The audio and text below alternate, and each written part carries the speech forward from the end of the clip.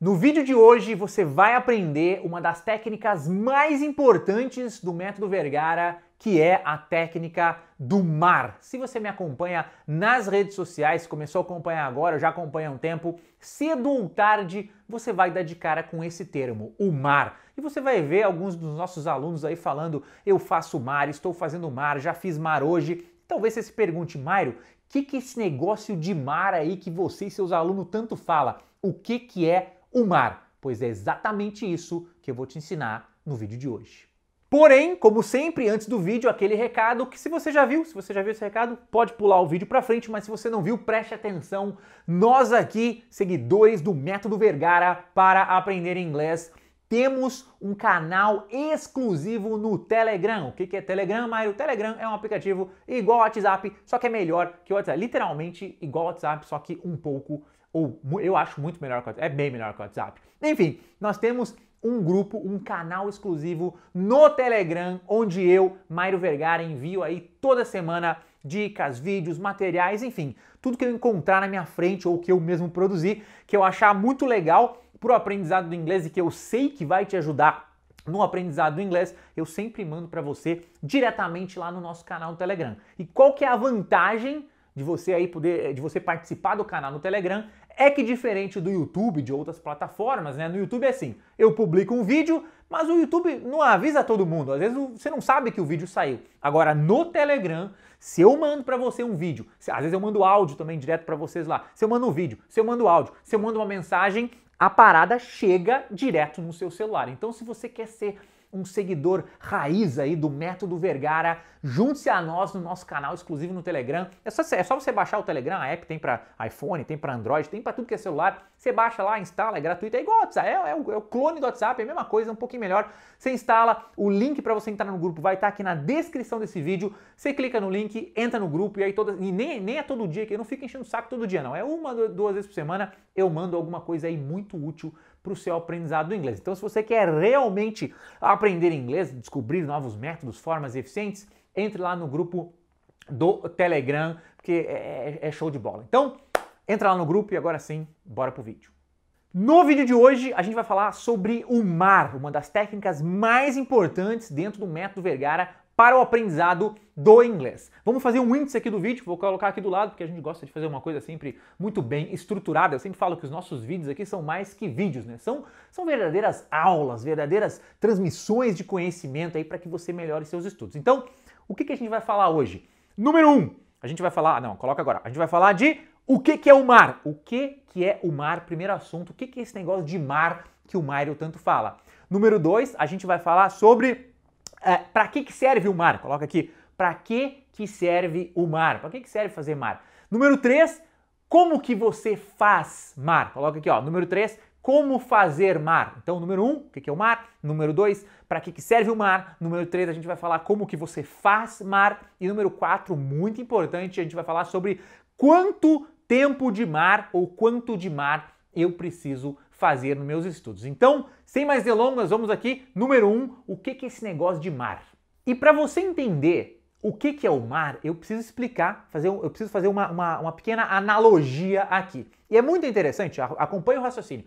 É muito interessante assim, eu, eu, sou meio burro. Eu realmente acho que eu não sou. A pessoa, ó, o Mairo tem o método do Mairo, o canal no YouTube. Mas eu realmente sou, eu sou meio burro. Só que às vezes, às vezes, né? E eu acho, fazendo um adendo, você tem que ser um pouco burro, assim. Quando você começa a achar que você é muito inteligente, é aí que você fica burro de verdade. Já parou pra pensar nisso? Mas enfim, por que, que eu tô falando isso? Por causa do seguinte: em um momento da minha vida de menos burrice, né? né? Um momento da minha vida de menos burrice, sei lá como, sei lá da onde, eu tive essa brilhante ideia, por isso que eu falo que é um momento de menos burrice, porque eu continuo sendo burro, mas eu fui menos burro ali num, num momento da vida e eu tive essa ideia incrível do mar, que é o seguinte: Imagine, acompanhe o raciocínio, imagine que você quer aprender a nadar, nadar, natação. Você quer aprender a nadar no mar, no marzão, no oceano. É lá, quero nadar, quero aprender a nadar, mas eu quero nadar no oceano, no marzão do, do poder. Só que você não sabe nadar, né? Você quer aprender a nadar, mas você não sabe nadar. Se você não sabe nadar, qual é a primeira coisa que você tem que fazer para conseguir nadar no mar? Você tem que aprender a nadar. E onde que você acompanha o raciocínio? Tudo vai fazer sentido no final.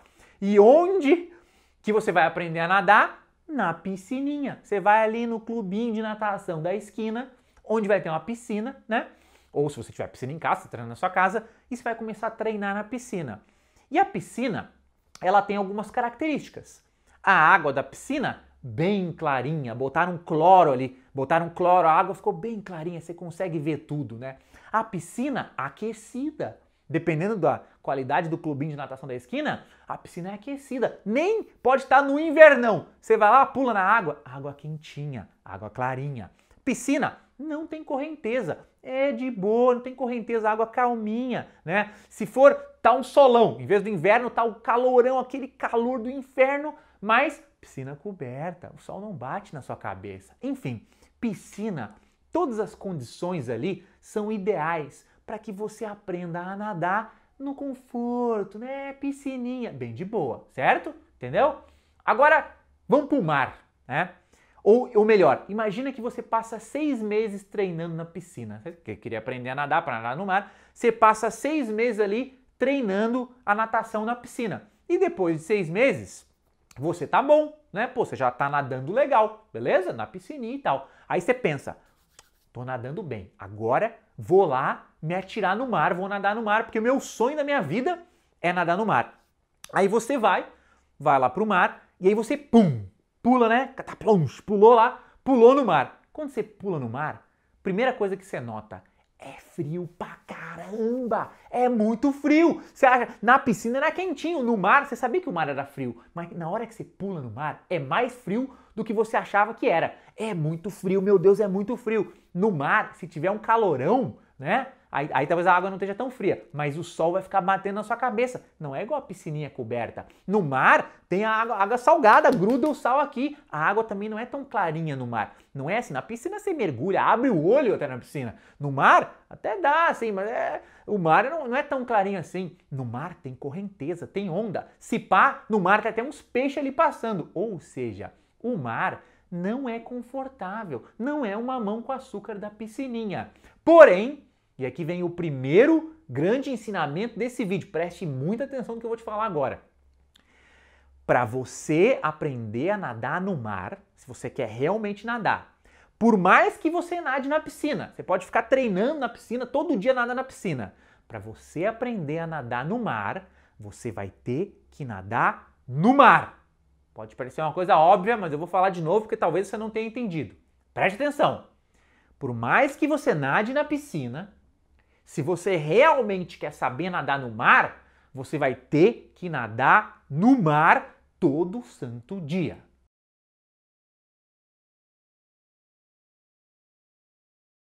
Agora, o que que isso tem a ver com aprender inglês? E é o seguinte: no inglês também tem a piscininha. No inglês também tem o mar. Tem a piscininha e tem o mar.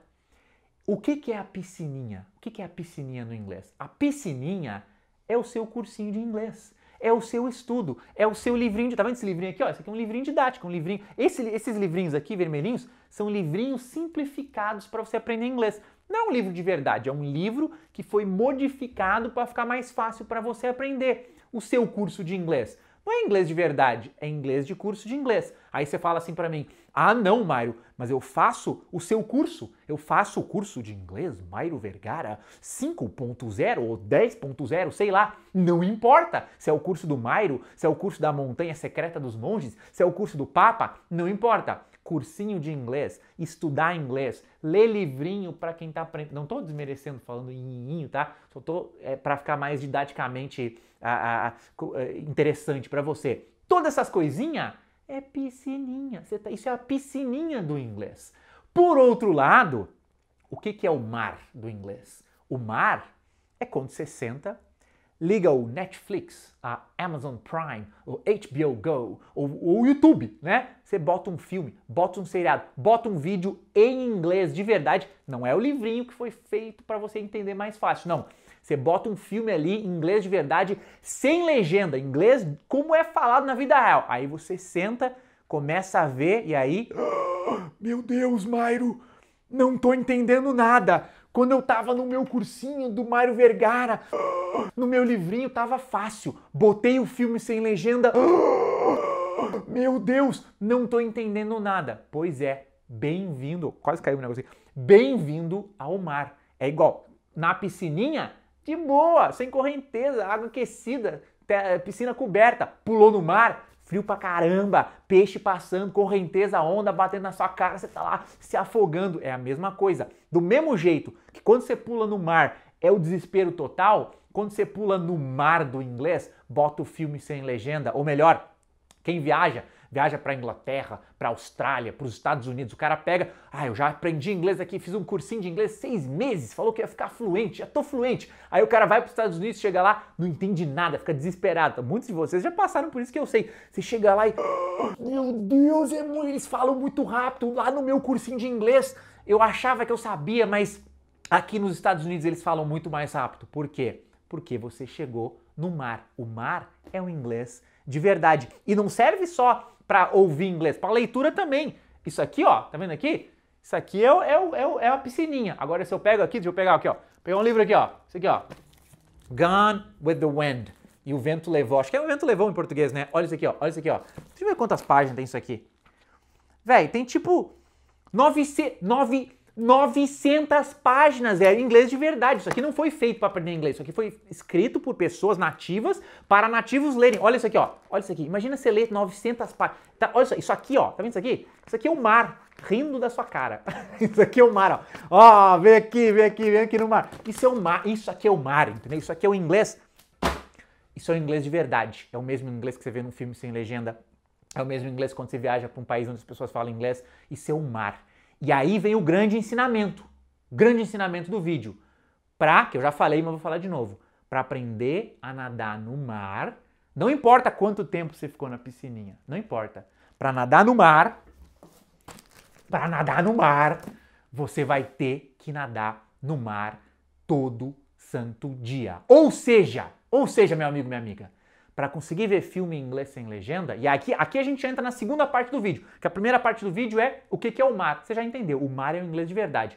Segunda parte, para que, que serve o mar? Para o seguinte, para você conseguir ver filme em inglês sem legenda, não adianta você ficar só estudando, não adianta você ficar vendo só filmezinho fácil. Para você conseguir ver um filme em inglês sem legenda, você vai ter que ver muito filme em inglês sem legenda, mesmo que no começo você não entenda quase nada. Para você conseguir ir para os Estados Unidos e lá entender. Assim, se você conseguir ver filme em inglês sem legenda, quando você chegar nos Estados Unidos, você vai entender o que eles falam. Mas é a mesma lógica. Se você para você entender a língua falada na velocidade que os nativos falam, você vai ter que ficar ouvindo a língua falada na velocidade que os nativos falam. Para você conseguir ler livros em inglês de verdade, você vai ter que ler livro em inglês de verdade. Ou seja, você só aprende a nadar no mar nadando no mar. Você só aprende a, a você só consegue entender e consumir o inglês de verdade se você pular, se você mergulhar no inglês de verdade.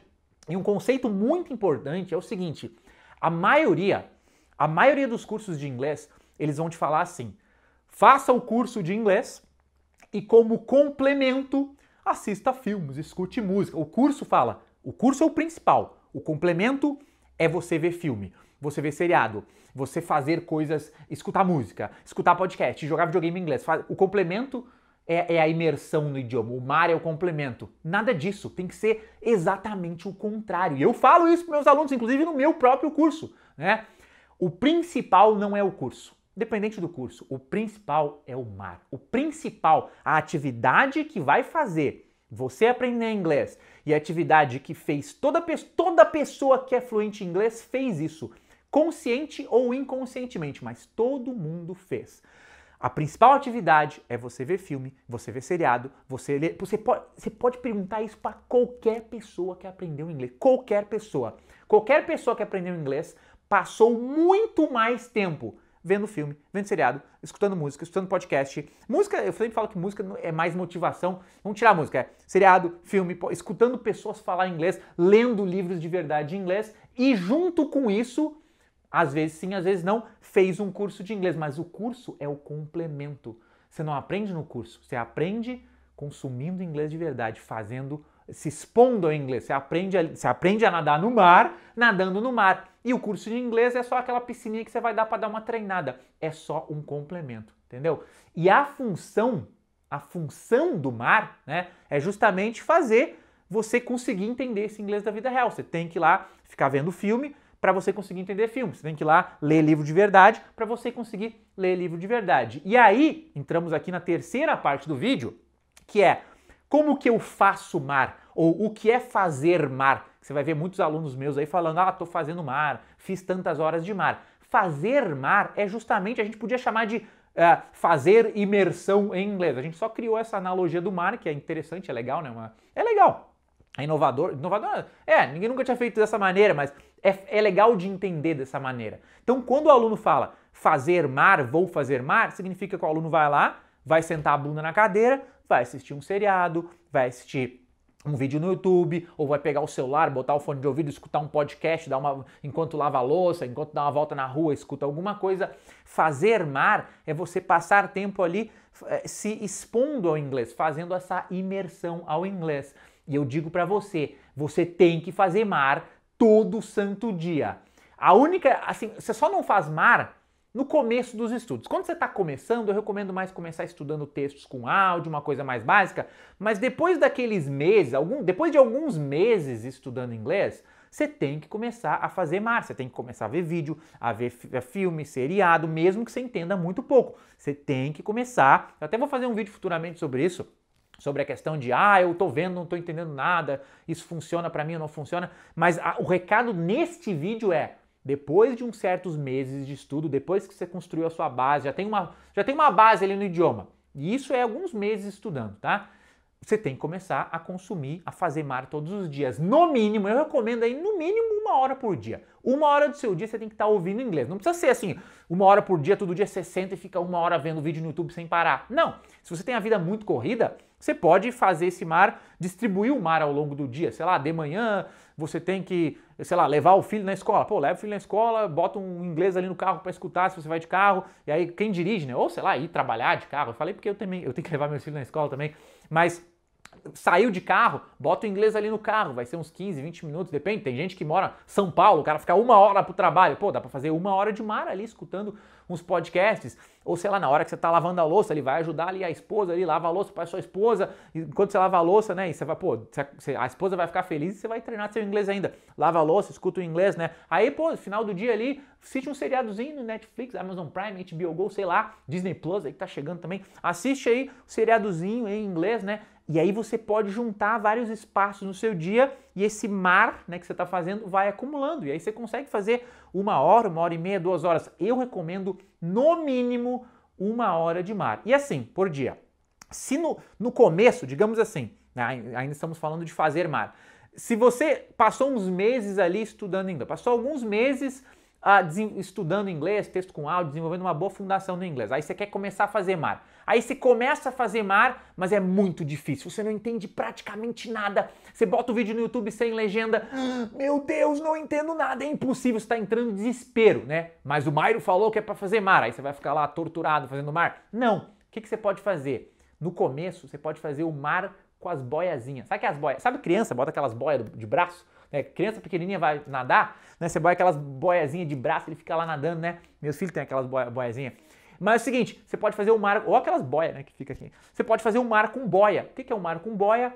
Bota um seriado em inglês, bota a legenda do seriado também em inglês. No YouTube dá para fazer isso. Você procurar vídeos no YouTube, tem, tem até agora não vai dar para mostrar, mas tem umas opções lá que você Uh, pode colocar, procurar vídeos em inglês com legendas em inglês, ou você procure ver se tem legenda no vídeo ou não. Você pode consumir conteúdos visuais, né, vídeos ou seriados ou filmes, onde você escuta o áudio em inglês e a legenda também em inglês, tá? Quando você vê com legenda, é, é mais leitura do que ouvido, não desenvolve tanto seu ouvido assim, porque você está lendo a legenda. Porém, ainda assim, quando você vê um seriado, um vídeo em inglês com legenda, legenda também em inglês, é tudo em inglês. Ou seja, você tá meio que num mar ali. Você tá, não é igual viajar para os Estados Unidos, né? Quando você vai ou para Inglaterra ou para qualquer país. Quando você viaja para outro país, lá as pessoas quando falam não aparece legenda na frente delas, não, na rua. Mas é um começo, é um mar com a boiazinha, né? Igual andar de bicicleta que tem aquelas rodinhas, a mesma coisa, né? Então você pode uns meses de estudo para desenvolver uma base. Ah, quero, quero começar a fazer mar uma hora por dia, igual o Mário falou. Beleza, começa a fazer, passa uns meses ali no mar, né? Pode até ficar mais, pode ficar um ano inteiro. Mar, né? muita gente que aprendeu assim, ficar muito tempo com legenda em inglês, depois tira a legenda. Passa um tempão vendo inglês com legenda em inglês e continua estudando. Lembra que o curso não é para abandonar o teu curso. Continua estudando, continua melhorando sua gramática, teu vocabulário, continua estudando inglês, mas o mar é todo dia, o mar é a prioridade. Prioridade é o mar, e aí o curso, ou qualquer outra, até o Anki, né? Que a gente que faz Anki no Método Vergara, o Anki, o Anki, o Anki é secundário. O mar é o aprendizado real e o Anki reforça o mar. Aí você vai fazendo durante um tempo com as legendas ali, né? Inglês com legenda em inglês. Aí uma hora vai ficar mais fácil com legenda. Aí quando ficar fácil com legenda, você pode tirar a legenda. Então você pode fazer essa transição do estuda lá, aí começa o mar com a boinha passa um tempão, sei lá, um ano inteiro, até mais no mar com boinha, e quando você tiver afim, tira a boinha. Ou, se você for muito maluco, vai direto pro mar sem boia. Também funciona. Você pode ir direto pro mar sem legenda, sem nada. É, eu diria que até fazer sem legenda antes é, é até mais eficiente. Porém, é mais difícil, é, é, difícil de aguentar no começo, assim, tem, tem que ter uma resiliência mental, assim, mas assim, é costume. Se você começar a fazer mar sem legenda todo dia, e estiver estudando e fazendo seu Anki e tudo mais, ou qualquer curso que você faça, o seu cérebro acostuma e eu acho que é até um pouco mais eficiente. Mas assim, nunca, não fique muito nessa noia de fazer o mais eficiente de tudo. Faça o que, o que, sente, o que é confortável para você. Se está confortável para você fazer o curso do Mairo e fazer o mar com legenda e está indo bem assim, vá assim. Porque se você começar, não, tenho que ser mega eficiente, vou ver sem legenda. Aí você vê sem legenda, é, dá um burnout, né? Você não aguenta mais, aí você pira, você começa a odiar o inglês porque você não entende nada, aí você para de ver. Não, vá na boinha e depois vá pro, pro mar de verdade. Aí depois, mas lembre-se, é só nadando no mar que você aprende a nadar no mar. Que você aprende a nadar no mar. E para terminar, quarta e última parte, para o vídeo não ficar super mega longo, esse, esse, é muito importante também. Não fecha o vídeo, preste, preste atenção. Quanto tempo de mar eu vou ter que fazer? Isso é um dos grandes erros aí não é erro, não quero falar assim. Isso é uma, é, é uma, uma das coisas que muitos de vocês, alunos meus, meus alunos, inclusive, eu vou começar a chamar todo mundo de aluno. Quem faz o curso é aluno. Quem não faz o curso, mas está aqui vendo o vídeo, também é aluno. É dois tipos de alunos diferentes, porque vocês são meus alunos, essa é a verdade. Se você está aqui vendo meu vídeo e aprendendo comigo, você é meu aluno. Tamo junto, tamo junto. Eu sou teu professor e tu é o meu aluno. Vamos, vamos nós aprender essa parada. E é o seguinte, e é o seguinte, os alunos, vocês, vocês pensam assim, ah, eu vou fazer. Mário mandou fazer mar. Eu vou fazer umas 70 horas, porque 70 horas, 70 horas é bastante. Imagina você ficar 70 horas fazendo exercício na academia. É muita hora, né? né? Tipo assim, mesmo que não, não, não 70 horas seguidas, obviamente, né? Mas 70 horas é bastante. E aí o que, que acontece? Só um exemplo, né? O aluno pensa: já fiz 70 horas de mar, vou entender tudo, né? O aluno faz 70 horas de mar vendo seriados e tal, e aí depois de 70 horas ele bota lá o seriado para ver e não entende quase nada. Ele, meu Deus, Mairo, eu fiz 70 horas de mar, você mandou fazer mar, eu fiz 70 horas, 100 horas, fiz 100 horas de mar e ainda não estou entendendo quase nada. O que, que tá, tá errado? Esse negócio de mar não funciona. Meu amigo, minha amiga, muita calma. É assim mesmo, tá? Você não, não, não são dezenas, não são centenas de horas. Você vai ter que fazer umas umas 800 horas, umas mil bota umas mil horas de mar para você começar a entender um pouco melhor. Como é que eu sei disso, né? O que aconteceu comigo no inglês, o que aconteceu comigo no francês, né? Eu, eu, no francês, eu estudo francês há um ano e meio, dois anos mais ou menos. No francês, eu acho que eu não fico contando as minhas horas, mas eu acho que eu devo estar próximo de mil horas, devo ter feito umas 800 horas. E agora só depois de 800 horas lá escutando é que eu estou começando a entender, que está começando a ficar um pouco mais confortável. Se agora já passou um vídeo no YouTube em francês, eu boto, eu vejo, eu não entendo tudo, mas eu tenho um entendimento bem legal. Só que isso não veio com 50 horas de mar, isso não veio com 100 horas, isso não veio nem com 300 horas, veio com 700, 800, mil horas. E para você realmente entender, para chegar no ponto assim que o inglês e o português é praticamente a mesma coisa para você, são alguns milhares, né, algumas, algumas milhares de horas, né? Algumas milhares de horas de mar. Todo mundo, para finalizar esse vídeo, último ensinamento. Todo mundo que é fluente em inglês, novamente, independente se a pessoa fez isso sabendo disso ou não sabendo disso, Todo mundo que fala inglês fluente já fez, consciente ou inconscientemente, algumas milhares de horas de mar. Duas mil, três mil, quatro mil, cinco mil horas de mar, ou possivelmente aí, quanto mais a pessoa sabe, mais mar ela fez. E quando eu estou falando de mar aqui, eu falo principalmente de ouvir, né? Pode ser só áudio, pode ser um, um meio visual, onde você vê e escuta. Em níveis mais avançados, leitura também começa a ser muito importante e conta como mar. Mas para vocês ainda aqui, você que não consegue ver um seriado sem legenda, não consegue. Seriado ainda é bem difícil, mas um vídeo no YouTube. Se você não consegue ver um vídeo no YouTube sem legenda, você tem que forçar mais o mar, tá? E vai vir depois de algumas milhares de horas. Então, para resumir, mar é imersão no inglês, é se expor ao inglês, é o inglês da vida real. Mar serve para que você consiga fazer as coisas da vida real, não adianta ficar só estudando no cursinho de inglês. Quem só estuda no curso de inglês nunca faz mar, nunca se expõe, nunca vai entender o inglês da vida real. Fazer mar né, é se expor, ver vídeos, como eu falei, ver vídeo, escutar podcast, ver seriado, etc. E você tem que fazer algumas milhares de, milhares de horas de mar para que isso dê resultado. E todo mundo que sabe inglês fez isso de maneira consciente ou inconsciente. Este foi o vídeo de hoje. Se você curtiu, o que eu quero que você faça? Eu quero que agora, nesse exato momento, nessa sua lição de casa, porque eu sou seu professor, igual eu falei, você só pode, você só está liberado para sair desse vídeo, não está liberado ainda. Você só está liberado depois que você der um like nesse vídeo. Dá um like, dá um like agora, dá um like e deixe um comentário. Lembra, ó, Deixe um comentário aqui embaixo com a sua opinião. Me diz aqui, você sabia o que era mar? Você faz mar? O que você gosta de fazer por mar? Deixa aqui, fala sobre o mar, sobre a sua história. Vamos trocar uma ideia aqui nos comentários. E lembre, eu sou seu professor e se você não der like, não deixar comentário, você vai ter que ficar para sempre aqui preso nesse vídeo. É igual na sala de aula, o professor não deixa você sair. Aqui eu não deixo você sair enquanto você não der o like e deixar o comentário. Então, dá o like, deixa o comentário e depois você está liberado e a gente se vê no próximo vídeo. Um grande abraço e é nóis!